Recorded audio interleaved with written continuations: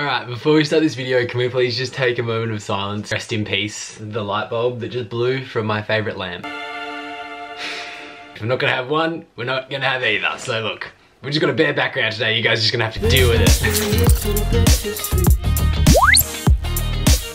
So, something that you guys know that I love a lot is musical theatre. And the world of musical theatre is something that I have been immersed in for a very long time, but not been public about my love for, in a sense, on the internet for a very long time. When I posted this video uh, about six months ago, a lot of you guys reached out to me saying how much you also loved musical theatre and you had no idea that I loved it as much as I do. So I thought today we would talk about all of the past shows that I've done, how I got into musical theatre, and also my Broadway bucket list, some of the shows that I love and I would love the chance to be a part of one day. As well as I want to share my Broadway playlist for you guys. We can have kind of a musical theatre jam session together. So if you're not a musical theatre stand like me and the rest of us, thanks for watching. See you guys next time. But if you are, stick around. I went and I found all of the programs from shows that I have been in. I'm gonna go through and show you guys my bios from those shows and kind of show my progression from start to now on in musical theatre. Let's do it. I have always loved theatre. I've been an actor since I was a very, very young child and I did school drama all the way through primary and high school.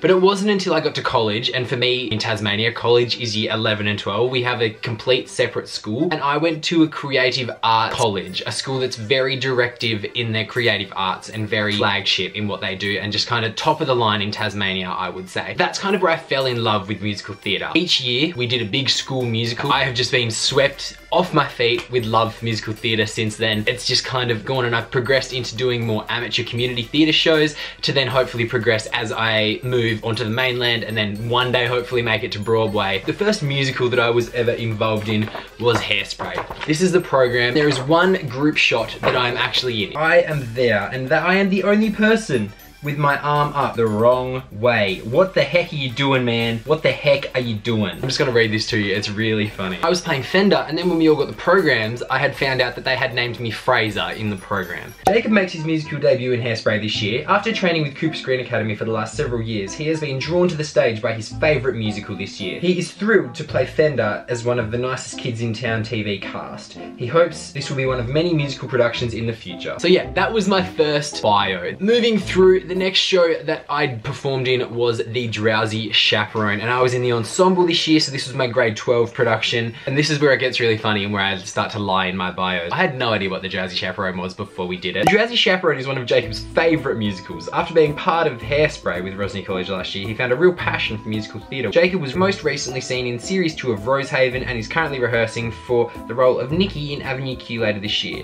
He just knows that you will enjoy this show in all its glory and hilarity. God bless. So that kind of leads us into, I was cast as a very small guest role on ABC's Rosehaven. Great present for mum and dad? We've already got a toilet roll holder. Yeah, but when you've got um, two in the one house, man, that's that's something special. And then moving on from the Drowsy Chaperone, as I said in my bio, after that, I was casting my first ever show outside of school and my first lead role as well. My first time I ever had a solo on stage. I was part of Hobart's production of Avenue Q. I played Nikki, which is the little green puppet. Because I am a lead, I was very excited to actually be part of a lot of photos. Look at this light, look at this guy. Feel free to stop and read my bio for this one, but I'm not gonna read them all anymore, but I just wanna show you, look at this headshot. I look atrocious in that photo.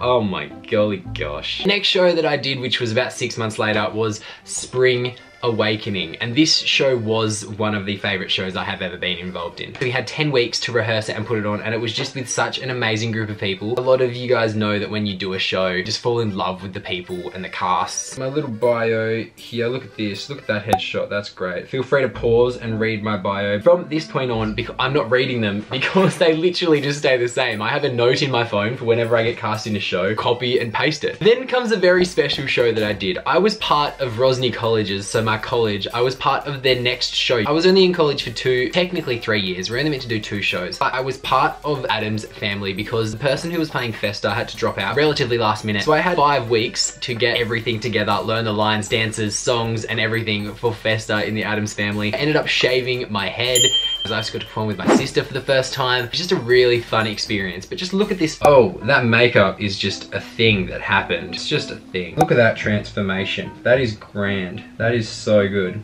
We love that. It's all just the same. It's all just the same, same but different. Which leads me on to the most recent show that I have been a part of and I actually played my first lead. I played the title character. Well, it's not actually the title character, is it? Because his name's not in the title. I played Jeremy here, one of my actual favorite shows of all time, which is Be More Chill. The Tasmanian premiere, I had never worked myself harder for a show. It was phenomenal. Once again, I'll show you guys my headshot and bio so you guys can have a quick little old read. Once again, very, very similar bio. But to just see my progression throughout all of these headshots and bios throughout the four years that I had been involved in musical theatre now, it's just really fun to kind of look back. So when I went through and I found all of these programs, I wanted to share that with you guys for anyone who's maybe interested in musical theatre, just go out and do as much as you can. Just go and start, audition for everything. If you don't get in, don't get too disheartened. I've been rejected from shows before. It happens to all of us. You have to have stuff on your resume in order to progress. Definitely go out and do that, which kind of takes me onto my Broadway bucket list. My two dream roles, like two roles that I would die to play,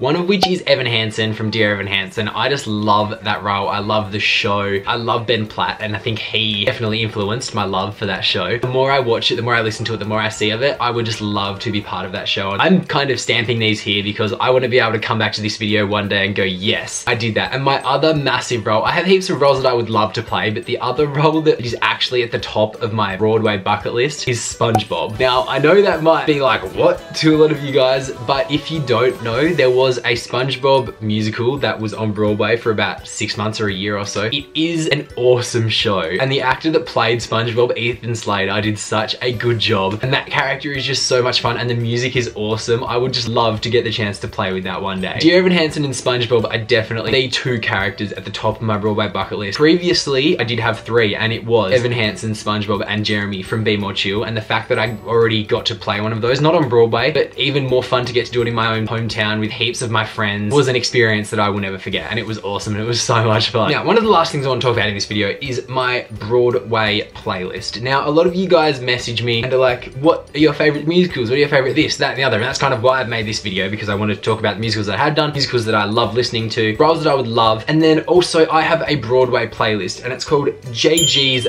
Bob. Now, Bob means best of Broadway. If you guys want to go and check it out, I'll leave a link to the Spotify playlist in the description. You can go and check it out, save it, download it, share with me songs that you like. I am consistently updating, changing it. It's got like 10 hours of songs in there, so definitely go check it out. Chuck it on shuffle, jump in the shower, go for a drive, do whatever you want. And last, but definitely not least, I get ridiculous amount of messages you guys wanting me to post videos of me singing. Now, Look, one day, I might. It's just, singing is a very new thing for me. I like saying that I can sing, but doesn't mean that I'm just gonna sit down and do it. I really wanna start making music, and that's something I've been working on during this isolation. To sit down and just sing a song is just so not my vibe. Covers are just not my vibe. One day, maybe, if you guys that are gonna comment on this video saying, please sing us a song from Be More Chill. No, stop pushing me. Stop, stop it, stop it. Stop it. Stop it. That's about all for this video. This has been my Broadway bucket list and past roles that I've been involved in. If you want to watch another video of mine, click one of these cards down here. If not, I'll see you guys in the next one. Don't forget to leave a like. Love you all. Thanks for watching and I'll see you guys next time. Bye guys. Mwah.